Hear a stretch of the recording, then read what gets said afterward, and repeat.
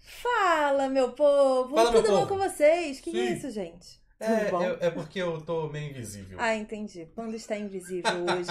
em homenagem a este vídeo que tarda, mas não falha, sobre o filme Homem Invisível, É. que chegou nos cinemas recentemente com a nossa maravilhosa Elizabeth Moss. Aê! Confesso que eu tava um pouco receosa para assistir esse filme, porque já tinham me falado que rola um terror psicológico. Eu sempre penso algumas vezes, mas decidimos ir ao cinema assistir e não me arrependo nunca do que eu vi. É isso aí. Incrível esta produção, não é não, Panda Mendes? Não achei tão incrível assim, porque eu era muito fã da primeira fase. Pois é, Panda Mendes gostava de Kevin Bacon. É, eu adorava o filme do Kevin Bacon, cara.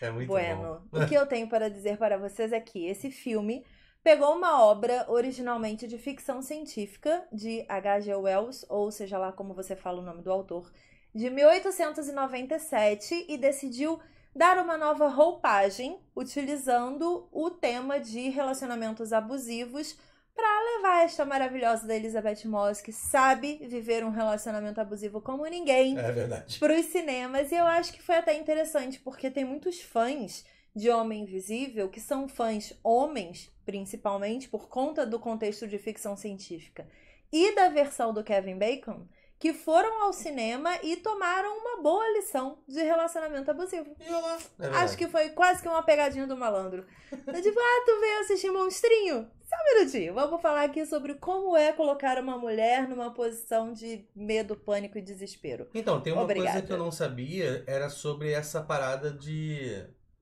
de que tinham vários filmes já, né, há muito tempo, e essas refilmagens aconteciam que nem Nasce uma Estrela. Sim. E aí eu me fez refletir melhor um pouco depois que eu saí do cinema, eu acho essa informação importante de se passar, Hum, porque muda a perspectiva da pessoa que tá assistindo o filme pela primeira vez, ou então que vai pra assistir o Kev- o Kevin Bacon e não assiste.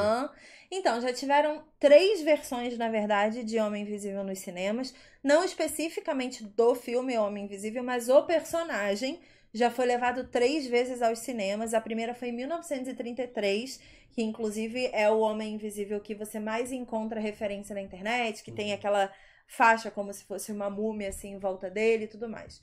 A versão do Kevin Bacon foi a que ficou mais popular.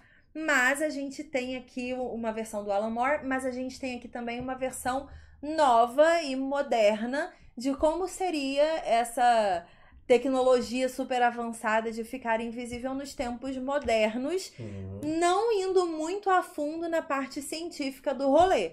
Porque hoje em dia eu acho que é mais fácil o público entender quando você fala assim: olha, gente, rico, bilionário, pode fazer o que quer, e todo mundo, ok. Eu entendo isso, você não precisa me explicar É, por é A mais verdade. B nem nada disso, né? A gente não sabe o que, que os grandes empresários estão fazendo no mundo com os seus dinheiros. A gente tem tanta gente tentando fazer aí viagens é, é, interplanetárias e construir foguete, fazer umas coisas só porque é rico. Sabe? Levar internet para continentes que não tem internet, só porque é rico. Então a gente sabe que o dinheiro compra um monte de coisa tecnológica sim e faz um monte de coisa doida também. O que me chama muita atenção nessa versão de agora Hum.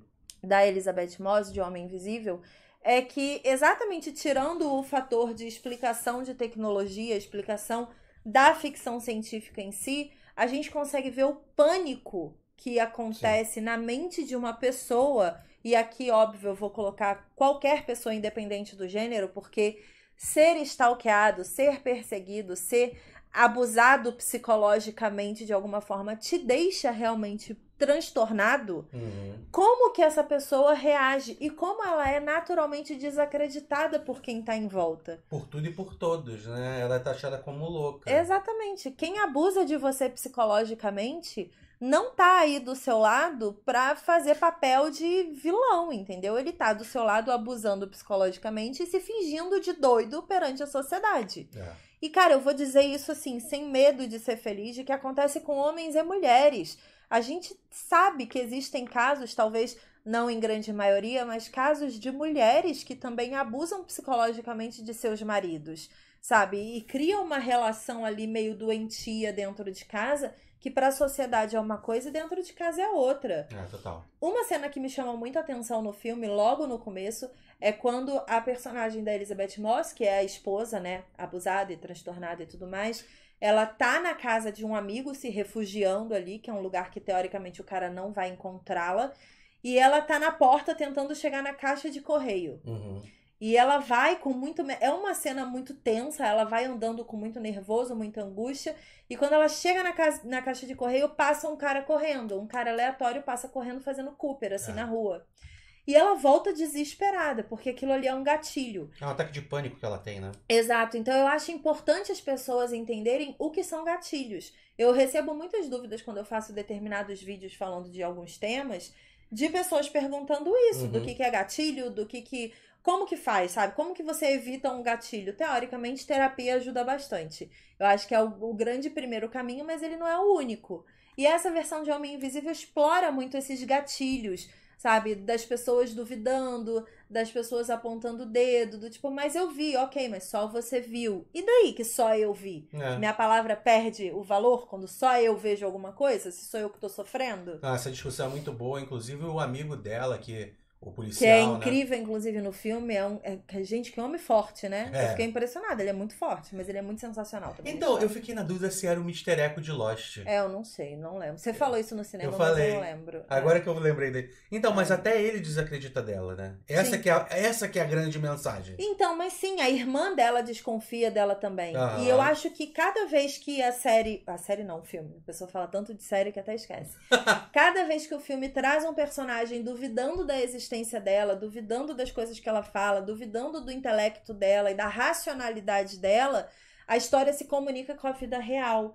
Quantas vezes uma pessoa se separa de um marido, de uma esposa, de um namorado, de uma namorada, e alguém da família vira e fala assim: Nossa, por que, que você se separou dele? Ele era tão legal. Não é, isso acontece tipo, muito mesmo. ok, ele era legal pra você, mas você não tava vivendo o relacionamento que eu vivia. Uhum. Sabe? Eu recebi alguns relatos de pessoas que viram esse filme e se identificaram demais com o pânico de pequenas ações. Lembrando que o relacionamento abusivo, ele não precisa ser apanhar, ele não precisa ser, ser torturado ou sofrer algum abuso físico, sexual e tudo mais. Ele pode acontecer em pequenas coisas, sabe? Como, É. por exemplo, o cara querer que ela engravide, ela não quer, e aí ela começa a tomar anticoncepcional escondido, e de repente ela sabe que o, ela descobre que o cara sabia que ela tomava anticoncepcional e ele trocou as pílulas dela para que não fossem anticoncepcionais para que ela engravidasse. O corpo dela é dele para que ele decida, sabe? Não existe essa flexibilidade dela dizer que não quer alguma coisa, então isso acontece na vida real. Pessoas que não se sentem donas de si do seu próprio destino, né? É. Eu achei muito corajoso você trazer um, uma história tão antiga, de outro século, que tinha um foco completamente em ficção científica e nas suas histórias e tudo mais, e da revolução é, científica mesmo, de como que esse tipo de teste era tenso, realmente, e era uma coisa que as pessoas tinham medo do futuro, disso acontecer, assim como viagem no tempo. E você trazer de uma forma tão atual, com discussões tão incríveis, né? E é essa que é a parada mais importante da, do filme. Uhum. Porque você ir pro cinema pra ver uma revolução tecnológica maluca de um cara se entrar num laboratório e ficar invisível Normal, né? é o que a gente espera com base no nome do filme. Sim. Quando na verdade a gente tem que prestar atenção em, em vários fatores, porque a discussão hoje em dia é outra. Sim. E às vezes a gente utiliza a ficção científica para enfiar o dedo em algumas feridas de problemas sociais que a gente está passando. É isso. E, na verdade, assim, é, é, é um questionamento, né? É- É Uhum. sempre um constante questionamento. A, a, a, arte é usada para isso, a literatura, o cinema sempre foi utilizado para isso. E os filmes do Homem Invisível sempre foram utilizados para isso. Sim. Então, eu achei sensacional essa mudança. E sair criticando um pouco, mas refletindo, eu que fui errado ver o filme. Exatamente. Você que foi com uma expectativa e acabou tendo outra coisa na sua vida. É.